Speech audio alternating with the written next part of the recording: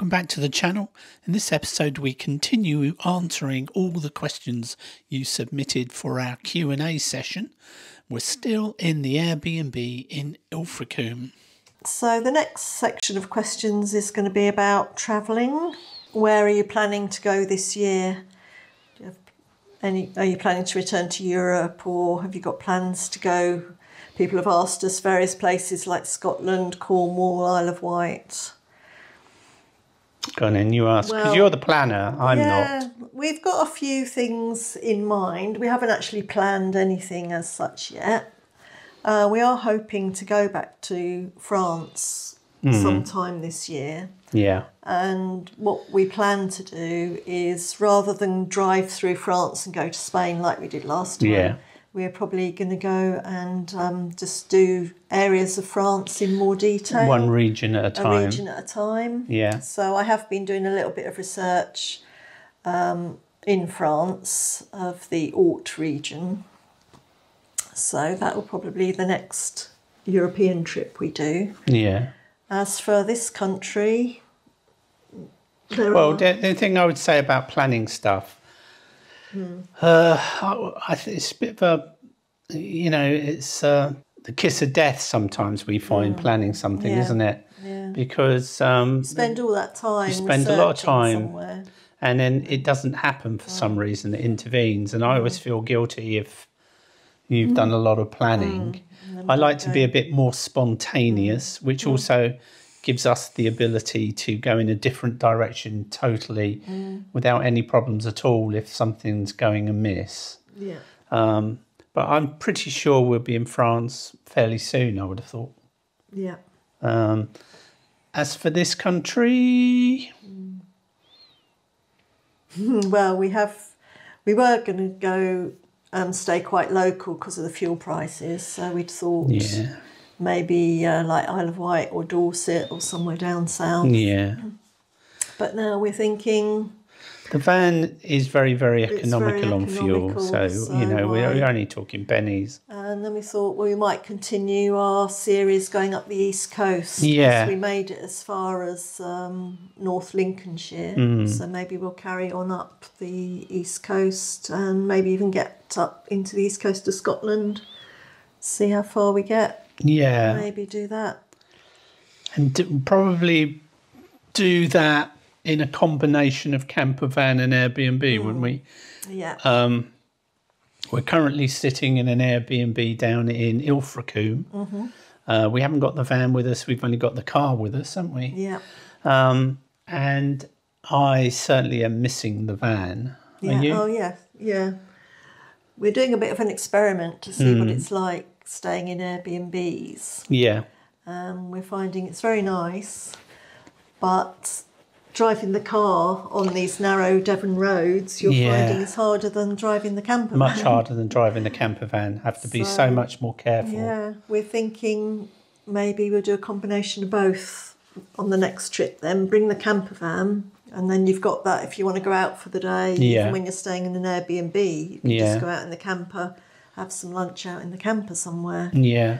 stay, and then you can go and stay in your camper van. When you get fed up, check into an Airbnb. if you need Yeah, a I break. think we're thinking of trying this because we've got about a five week limit, we find, don't we, in our little camper van before we're fed up. And then you, you have to go all the way back home again Yeah, for a break. Yeah, And by using Airbnbs, we could have that break still where we are, couldn't we?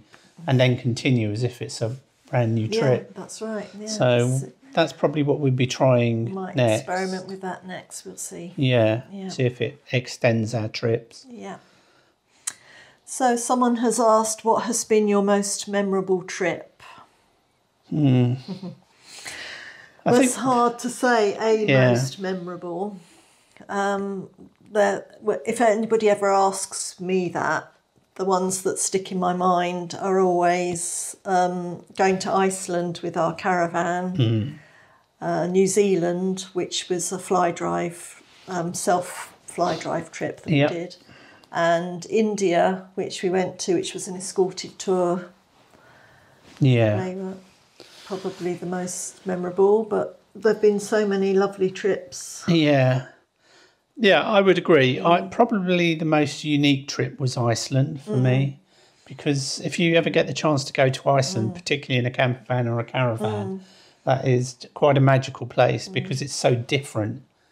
Every area of that island is different, Yeah. from beautifully green to desert like to mountainous, volcanic- rocky, volcanic. Yeah, the waterfalls. It's constantly changing, covered in snow and ice, and then Yeah. lovely and sunny and warm. It, it was a really fascinating trip. That was, And I think because we went towing a caravan, yeah, just a normal car, it made it even more memorable because we didn't see anybody else doing that. no, we just had a front wheel drive Mazda six, didn't yeah, we? I think Yeah, with a little Eriba caravan. Mm-hmm. it was quite funny, wasn't it? Because we arrived in was it Sages Fjord, Sages Fjord. on the Sages ferry. Fjord, Yeah. and it was um, misty, wasn't it? We Yeah. couldn't see the tops of the mountains, Yeah. and to get to the first destination, we drove up that hill. Do you remember? Yeah. and with a big stream of traffic behind us. Hmm. And I, th- you couldn't see the hill because it was just mist, and the van, uh, the, it was just running out of hmm. power, wasn't it? The hmm. car, and I had to pull over to let everybody pass, thinking, "Oh my goodness, we're not going to make it up this hill."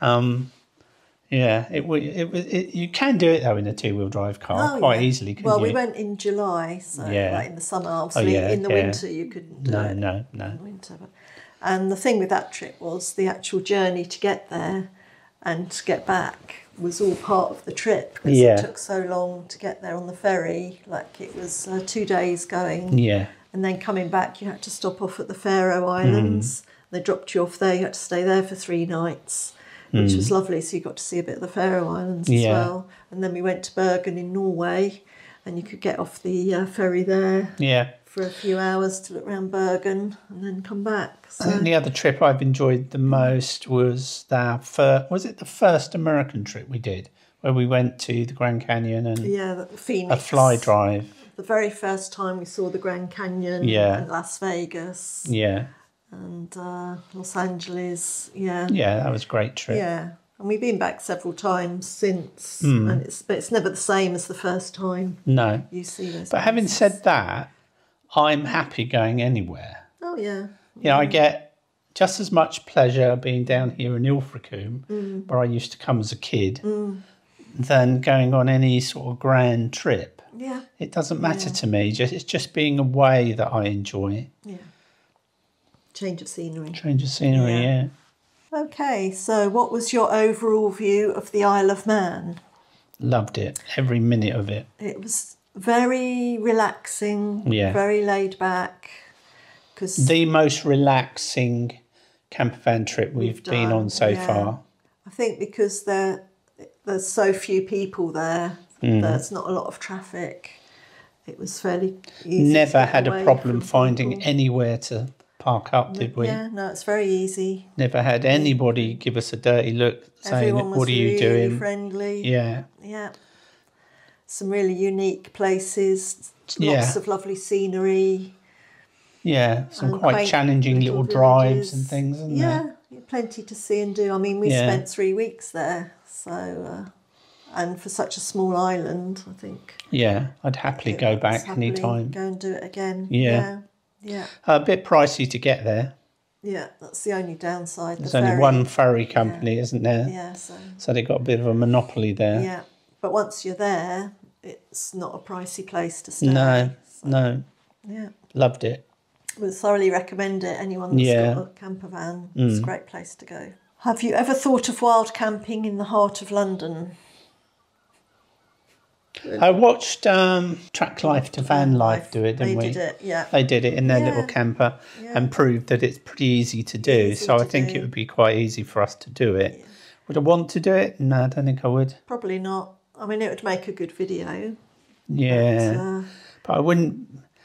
we're not big We fans don't. of London. we don't make videos to make a good video, though, do we? No. We just record what we've done places from we'd want to basically for our memories. Yeah. Yes, we've adapted them now to be more relevant to uh, somebody else watching Mm. in the way we talk to the camera and stuff like that. But we, I, I wouldn't. I'm not that keen on doing videos because I think it would be a a good Good video. video, yeah. Um, yeah, London. Would I want to be up in London? now? I'll be honest with you. I don't think I would. Um, so I don't think we'll do that. No. But having said that, there are plenty of other cities I'd probably be. Quite Very happy to go and yeah, camping. Yeah, yeah. Yeah. And you've got various restrictions now, haven't you? Um, With the emissions With the emission zones, zone. Although we're we're the um, what category six? Whatever, yeah, so- yeah. The, but we we're to- we're Euro six, aren't we? Yeah. The type that constantly breaks down and causes a fo- costs a fortune to repair. Yep. What country would you like to visit outside of the UK when possible? What would be your dream destination? I haven't got any dream destinations. Have you? I think you might have. I've always wanted to go to Japan. hmm That's that's a place that I haven't been that I'd like to go to. Yeah. Um, and maybe like we've never been to South America. Mm. Well, we So, haven't we? Can we do it on a cruise? Not South America. We've been like Caribbean and Central America, but Yeah. like Argentina, Chile, Yeah. Peru. Yeah. There's places that I haven't been. But other than that, there's nowhere. You like you like warm, sunny beach holidays, don't you? That would be. Yeah, yeah. You would And- love that, wouldn't you? Yeah, and interesting. Like Japan is just a totally different culture, isn't it? Yeah. And, uh, place. So that I think that would be really interesting to visit. But as for in the camper van, we did say we were going to go to Scandinavia, didn't we? Oh yeah, I'm sure we will do that. Um, somewhere we've never been.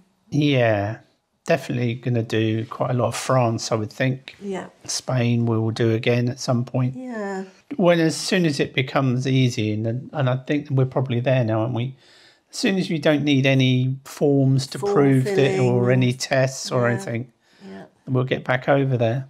How many trips do you plan at a time, and how much planning do you do before the trip? Well, probably already answered that a bit. Really, we don't really do that much planning. you um, look up once we've fixed a destination Yeah, or an area, you will start looking up what, there is to see and do. And I'll make notes of places. And you'll put pins on maps. on Google Maps. I just put pins. And if anybody makes any suggestions of places to see, I'll mark them on Google Maps as Yeah. well with a note of things. So I only do one trip at a time, won't plan any further ahead No. than that. No. Have a trip planned in the bag. Um, but it's so easy now to plan while you're actually on the road. Yeah, piss um, cake. Yeah, and we don't plan in any great detail as to say, right, day one we're doing this, day two we're doing this, because your plans change Yeah. when you're on the road. So we just do like day to day, say, right, where we're going to go today. Um, I think it's mainly driven for, for me. I don't do any planning at all, really. Um, for me, it's driven by do I get bored at home? If I get bored at home, then I want to be off and gone. I mean, mm. this trip we're on now mm. was spontaneous, Spontaneous, wasn't it? yeah. And mainly, I, I've got a Volvo XC60. And I've hardly ever used it, have I? Uh, We've only used it to tour, uh, tow a when caravan we were for a while. the caravan, we used it for. Yeah, but it's always occurred to me that it'd be a lovely vehicle to go on a long distance Mm. trip in because it can drive itself. It's got all the It's toys on it. It's comfortable, drive, yeah. and that's what triggered this Airbnb to try it, see what it's like. Mm. But having tried it now, I don't actually like driving that car. so I'm going to get shot on my Volvo when we get back, I think, and get something Mm-hmm. Smaller that's more nimble and easy Mm. to get around in but and just and use the camper van for uh, trips away Mm-hmm. Do you have any tips for driving on the right in Europe? the only tip um, the only thing we did was we bought one of those reversible stickers from Halfords. halfords if you look at our um, spain trip videos you'll see it in the windscreen and it just con- it's in your line of sight and it reminds you to drive on the right side of the road and you you peel it off and you can turn it around for when you're back in England, and it will give you the opposite reminder, won't it? visual warning Yeah. you can see just to remind you to drive on the right. The only other tip I'll give you is to you must have a reminder for the first few days. You must have a physical reminder to drive on the on a, something that causes you think right. I'm, I've got to drive on the on the other side of the road, haven't you? So you could tie a knot on your, your a hanky on your steering, Steering wheel, wheel, or something do that, that, forces you to rem- to think right. This is why this is here. Mm. Drive on the on the correct side of the road mm. because we've had we had a couple of near misses, haven't we? Mm. Where I've gone round the roundabout the wrong way. Mm. Well, when we were towing the caravan a few years ago, Yeah. when we went to France, you did actually drive round a little roundabout the, the wrong way. Yeah, just before we got to a site. yeah, yeah. It's so easy to do. Um, so that visual thing in the windscreen, have we got that on our? Did we get that? No, we got it from Halfords, didn't we? so it yeah, won't be. for the camper van. yeah. Um, Yeah, it's in our Amazon storefront. oh, it is in our Yes, Amazon storefront yeah, if you want one of those. Um, the other thing is spend a little bit of time just learning the the road signs Mm-hmm. and what they mean. Yeah. Um, The other thing we found useful was speed limits. If your vehicle, uh, if you've got an electronic dash that you can switch to kilometres, then that's a piece of cake. Mm. But if you haven't, we put cards above the steering wheel, didn't Little we? sticky notes Just to convert the, the speed miles limits. per hour to kilometres per hour. Yeah. And you only need that for about a few days, and then your brain will have to it, adjusted. yeah. And knowing what the speed limits are on the different types of roads. So Yeah. just make a note on a little bit of sticky notepad. But as for Yeah. Mm. actual driving, well, it's no different to driving in this country. You just got to be aware of what's going on. And yeah, you'd be surprised how you get used to it. Yeah, And, very quickly. and it's a lot easier when there's two of you driving, so you've got somebody that can look out. Yeah, yeah, that's on that probably the most awkward part, isn't it? Yeah. When you're pulling out at junctions, you're on the wrong side of the Mm. car to be able to see. So if your passenger can can do that for you, for it's all right. Yeah. But I wouldn't let driving that put you off going No, abroad because it really is it not a try, big deal give at all. Yeah. Next question. So, are you considering taking the little red camper to the USA or hiring an RV in the States? Um, well, we've been watching the Travel Beans, their latest episode, and they're talking about buying one, Hmm. aren't they? And I think that's probably the best. If it if it can be done without too much hassle, that would be the most logical way to go to the states. We've looked up, um, well, we've been watching Tread the Globe, who've Mm-hmm. um, went into detail about the costs of shipping a van over to the States. And we have looked up about hiring one out there, how much Yeah. that would cost. Yeah. And that is extortionate for any length of time. Yeah, So the most cost-effective way would probably be to buy one to go and buy one out, out there. there. So we'll be watching the Travel Beans with interest, see how they get on. Yeah, apparently you need an American address, Yeah, depending what state you're in as well. Um, yeah. um, and they said the getting the insurance is the most difficult aspect. yeah. Being a foreigner, Um, an American address, probably know some people that might we help do us know there. some people. Yeah, So Yeah. um, it would be really nice to go to the to the to the states it and would. do the camping. Yeah, yeah. and hire, Yeah. hire or buy one. And we could yeah. af- we could afford to buy one out there, yeah, no yeah, problem. So yeah. So something to think about for the future. yeah. Yeah. Thanks for watching. The next Q and A will be all about filming.